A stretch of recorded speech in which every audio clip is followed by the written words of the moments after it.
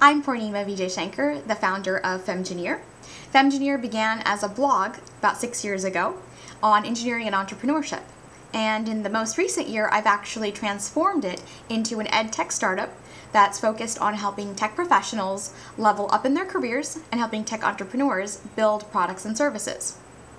One of the common problems that a lot of people pose to me is I'm really stuck and I'm tired and I think I'm going to burn out because uh, I've rebuilt this product six times and you know we've had 10,000 people download it or 10 million people sign up but we just can't monetize. We don't know how to get money from them.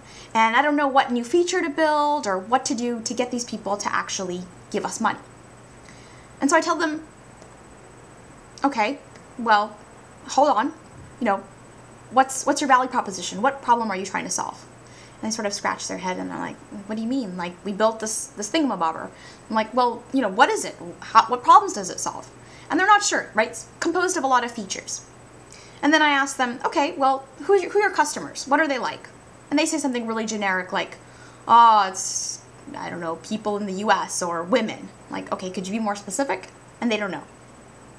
And so I tell them, okay, stop building altogether. Don't build anything more.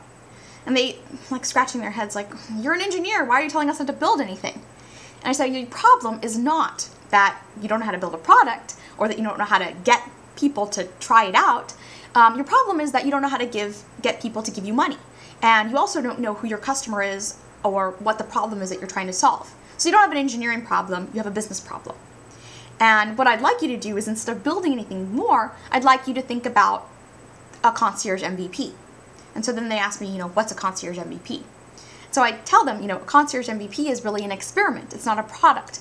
It's when you decide to try out a few different value propositions uh, across a few user segments. You might put up a simple landing page explaining what the what the benefits are of using your product and who it's for. And you will also, you know, try out some some pricing strategy. See if people will actually click to purchase. And that way you'll know whether you can monetize off of this value proposition. And so one of the things that I'd like to present at Lean Startup is this concept of a concierge MVP.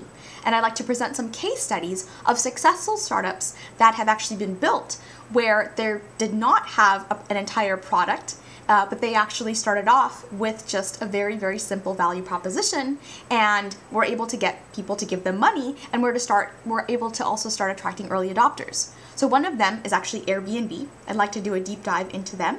And then the second is actually Femgineer, where I didn't build out all the curriculum, I didn't, you know, do a lot of advertising, but I put up a simple landing page telling people that I'm going to be teaching an eight week course on product development, and I, I, explained to them what the values were they would get out of it and who the product was for. It was for engineers, entrepreneurs, and product managers. And I was able to get them to pay me quite a sum of money to get started.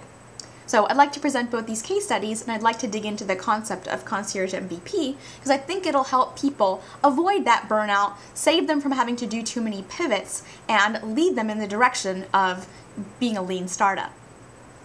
Thank you.